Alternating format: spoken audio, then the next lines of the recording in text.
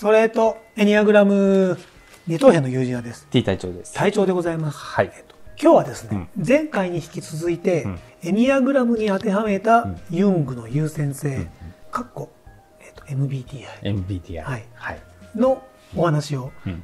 優しいエニアグラム、うん。うんレミー・バロン、うんエエリザベス・ウェイギルさうん。んのうん本から紹介したいと思います。はいなので前回は、うんあのハートセンタハーのお話をしたので、今日はヘッドセンター、ー。うん。タイプ5からうん。ですね。タイプ5、えーと外交性のタイプ5は、うん。率直に意見を言い、社交的で知的な面で断固としています。うん。ただ、大抵のタイプ5はうん。内向性であり、うん考えが公平で、うん控えめでうん物静かですとあります。うん。まあ確かにそうですよ、っぽいですよねあ。の5はエニアグラムでいうところの有利タイプ。有利タイプ。なので、あまりこのうん。外交性、まあご本人がうん。外交的だってうん思ってるかもしれないんですけども、多分それは周りから見ると、いうん。や全然外交的じゃないよって。うん。か、あれですよね。もう、すごく健全度が高いか。あ、そうですね。もしくはそのタイプ6のウィングウで、ィングで。よりなんかちょっとあの反応しやすいのかっていう。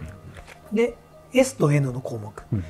感覚のタイプ5は現実的で実際的でデータを分類することを好みます。うん。直感のタイプ5は、うん。えーより洞察力に富み、うん革新的で理論的で学級的です。うん。あの、学を研究すうんる学級的ですと。うんで、思考と感情。うん。思考のタイプ5は論理と分析を用いて問題を解決し、うん。意思を決定します。うん F、感情のタイプ5は敏感で人々に同調する傾向があります。うん。多分この人たちは4のウイングの方がずっと発達しています。うん。とあります。で、えーと J と P の項目で言うと、判断のタイプ5は組織的でうん。決然としていて、自分の考えを世間に提示する傾向があります。で、P の項目、ん認知のタイプ5は達成ということにあまり焦点を当てていません。この人たちは他の可能性があると脇道にそれやすくなります。うん。タイプ5の支配的な特徴としては内向性と思考ですと。うん。まあそんな感じですよ。I と T。うん。なんで体調もその、ご自身でエニアグラムうんをやられた時に、うんタイプ5だと一番初めに思った。そうそうそうそう。思ったっていうか診断をするじゃないですか。はいはいあれでタイプ5って出た。ああ、なるほど。っていう感じです。なのでもちろんこの内向性と思考、うん体調はあの、うん INTP 内向性とと思考。思考があるので、うんまあそう思われたのかもしれないし、うんまあ、特にあのエニアグラムは、うんなんて言うんだろうずっと自分を探し続けましょうっていうものですよね。タイプ6だうん。ではまり込むものじゃなくて、うんなんで僕も今動画ではうんタイプ6ですってうん言ってるんですけども、もしかしたら違うかもしれない。違うかもしれない。この僕がこの思考じゃない、思考じゃないとか、エニアグラムでいうところのタイプ5じゃないはい。って思ったのが、他との対比だったりするんでね。他のタイプ5の人と。俺ああそこまで、ね、あそこまでって。研究しないな、みたいな。なるほど。なんか調べたりするのは好きだけど、あそこまではちょっとのめり込まないな、みたいなところがあったから、はい。5じゃないな、みたいなところが。なるほど。うんだから他の人を見なければ5だって思ってる可能性はありますよねっていう。あうん。もしかなんで、うん。体調と同じように、はいはい。俺って5かって思ってる方は、コメントいただければうんうん話したいと思います。他の、他の5の人を見るとかで、あ、そうですね。うんはい。あの、我々にはあの、山々さんっていう、山山さん が5が。あの、タイプ5っぽいはい人がいるのでうんうん、一緒に出てもらってね。あ、そうそうってすごい共感できるかどうかはいみたいな。はいはい。で、タイプ6。タイプ6。ちょっと笑っちゃいました。すみません。えっと、タイプ6はうん、他のタイプ以上うにん。様々な優先性の間をうんあちこちと揺れ動く傾向がありますっていうのが最初に出てきますうんうん。はいうん。外交、E と T 外交性と内向性のところで言うと、外交性のタイプ6は話好きで社交的です。内向性のタイプ6はより控えめで引っ込みがちです。で、S と N の項目。感覚のタイプ6は実際的で依存的でしきたりを重んじます、えー N 直感のタイプ6はより個人主義的で革新的で未来志向です。うん。この人たちは行動よりも話すこと、考えることを好みます。で、T、あ思考と感情の項目。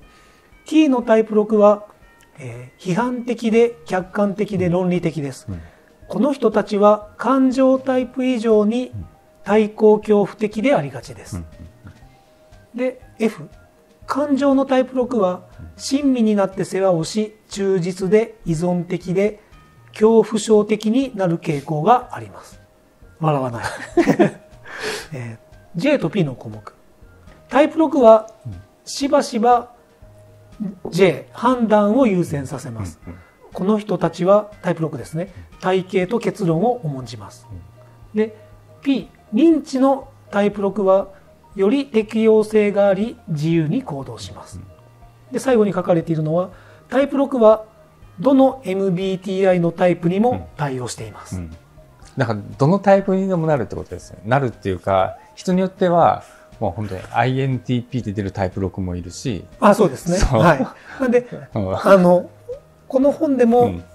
他のタイプはうん、最終的にうん。支配的な特徴はこことここって出るんですけどタイプ6はそれがない。それがないからどれが出てもおかしくないおかしくないっていう ところでございます。はい分かりづらい感じですねわかり、まあ、エニアグラムでもタイプ6は分かりづらいって言いますもんね。そうそうタイプ6、いろんなタイプ9は。タイプ、、はいろんなタイプに見えたりするって言いますもんねっていうので、はいで、ちなみに私はうん ESFP です。うんいい外交感覚感覚、感感情、認知。認知ただこれをまた違う日にやるうとん違う形になるかもしれません。6なんでねはい。でもまあこれはもしかしたらその MBTI のうん。有資格者の方が、に見ていただくと自分のやつがはっきりするかもしれない。はい。で、えーと、タイプ7。7外向性と内向性の項目、うん。タイプ7は話好きで社交的で、うん。物事をさっさとやり楽しいことが好きです、うん。この人たちは普通いろいろな分野で友人や体験を持っています、うん。内向性のタイプ7はより控えめで引っ込みがちで静かに遊ぶのが好きです、うんまあ、いるのかなってちょっと思ったりしますけどね。で、S と N の項目、感覚と直感の項目。感覚のタイプ7は行動思考で遊び好きで現実的です。この人たちは直接の体験や観察から学びます。うん直感のタイプ7は想像力に富み、創造的で革新的である傾向があります。で、思考と感情の項目。思考のタイプ7は客観的で論理的で挑戦的で不愛想である傾あ向があります。そううんすいません。不愛想である傾向があります。で、感情のタイプ7はより物静かでうん同情的でより人間思考です。うんで、J と P の項目。じゃ判断と認知の項目。うん判断のタイプ7は企画や計画の遂行に優れ、うん良き行政官、組織者になる傾向があります。ただ、タイプ7はしばしば認知を優先させます。うん P をに優先させます。この人たちは自分の選択肢を広く持つのを好みますが、うん時には計画を最後までやり抜くのが難しいことがあります。で、タイプ7は外交性と認知に向かう傾向がありますとは書いてあります。